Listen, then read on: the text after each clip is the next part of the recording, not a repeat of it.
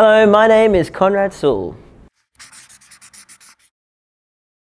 The best thing about Australia is, is how proud we are as a country.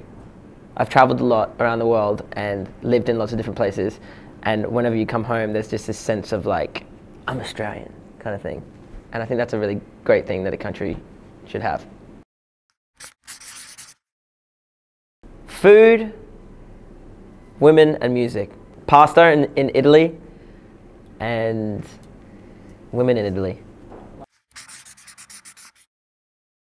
My favorite live show that I performed at would be the first time I played with Ed Sheeran in my hometown, uh, which was just an incredible feeling. Um, and the best live show would probably be either Coldplay or The Killers.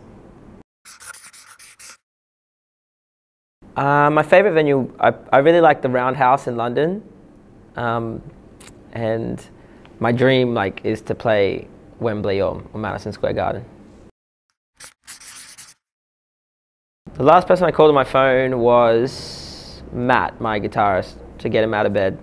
He's un extremely unreliable and asks a lot of questions.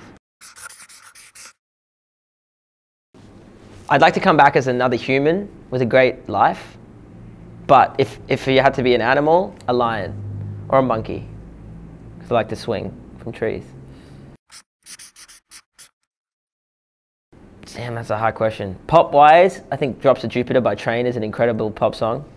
Um, or like, you know, something amazing like Bohemian Rhapsody, obviously.